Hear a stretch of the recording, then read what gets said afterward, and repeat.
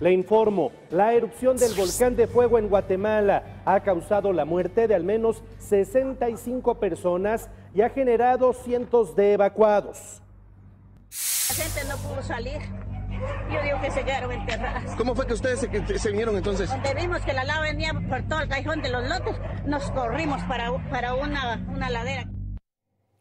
La aldea El Rodeo quedó totalmente enterrada por la avalancha que bajó del volcán. La situación en este lugar es muy delicada, ya que la lava, el lodo, continuó descendiendo. La erupción comenzó el domingo y produjo espesas nubes de humo de más de nueve kilómetros de altura. Seis elementos de bomberos y un perro de rescate de la Universidad Nacional Autónoma de México partieron ayer por la tarde hacia Guatemala para colaborar con los trabajos, pues las autoridades no pierden la esperanza de encontrar todavía más sobrevivientes. Hay decenas de personas desaparecidas allá en Guatemala. Con precisión no se conoce el número exacto.